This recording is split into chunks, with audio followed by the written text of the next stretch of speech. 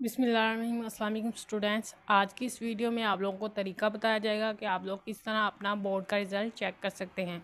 पंजाब के जितने भी बोर्ड्स हैं, जिनमें गुजरावाला, लाहौर, रावलपिंडी, फैसलाबाद, सरगोदा बीजी खान, मुल्तान बोर्ड और फर्दर जितने भी पंजाब में बोर्ड आते हैं, उनका सबका एक ही तरीका है। रिज़ल्ट मालूम करने का बहुत ही आसान तरीका है, ये आप मोबाइल से भी मालूम कर सकते हैं और कंप्यूटर से भी।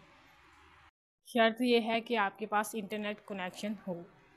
तो आप लोगों ने सबसे पहले क्रोम ब्राउज़र पे चले जाना है या गूगल पे चले जाएँ, उस पर आप लोगों ने टाइप करना है बाईस लाहौर या फिर बाईस गुजरावाला, बाईस रावलपिंडी जिस बोर्ड का भी आपने रिज़ल्ट निकालना है।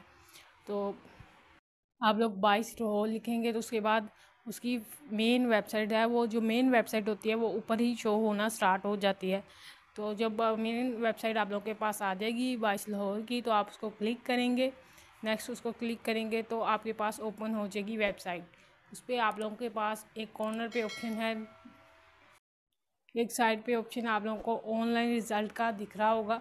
आप लोग यहाँ पे ऑनलाइन रिज़ल्ट पे क्लिक करके नेक्स्ट आप लोगों के पास ओपन हो जाएगा पेज। इस पर आप लोग अपना रोल नंबर लिख कर अपनी क्लास सेलेक्ट करके, अपना ईयर सेलेक्ट करके कि किस साल आप लोगों ने पेपर्स दिए थे।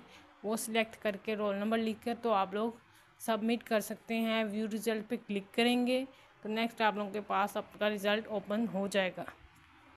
इसी तरह बाईस गुजरा वाला का भी रिज़ल्ट इसी तरह निकलेगा। आप लोग गूगल पे टाइप करेंगे बाईस जी Gujranwala G R W next उनकी मेन वेबसाइट आ जाएगी आपके सामने। आप उसको क्लिक करेंगे ओपन करेंगे।